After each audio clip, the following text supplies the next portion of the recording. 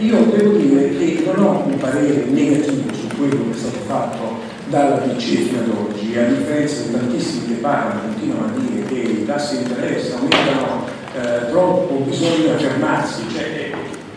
il percorso che ha la BCE di fronte è già un percorso che porta a immaginare ragionevolmente un ulteriore aumento di 50 basis points e poi a quel punto se l'inflazione come sembra tornerà dei livelli ragionevoli ci potrà essere un percorso l'anno prossimo in cui ci potrà essere una riduzione dei tassi di interesse, ma noi siamo in un mondo che non tornerà mai più a tassi negativi o tassi zero. L'Italia in questo momento è quella che sta andando meglio rispetto ad altri paesi europei, perché ha un modello di business delle imprese molto più diversificato, quindi una forza assoluta delle imprese e ha un solidissimo risparmio delle famiglie. Mantiene, come paesi, componenti di disuguaglianza, povertà e poi un debito pubblico elevato. Sulla regolamentazione è indubbio che la regolamentazione da un lato ha consentito però di oggi di avere un sistema molto solido bancario in Europa. Quindi io da questo punto di vista ritengo che sia fatto un ottimo lavoro anche su questo fronte. È chiaro che però bisogna mantenere un giusto equilibrio tra la regolamentazione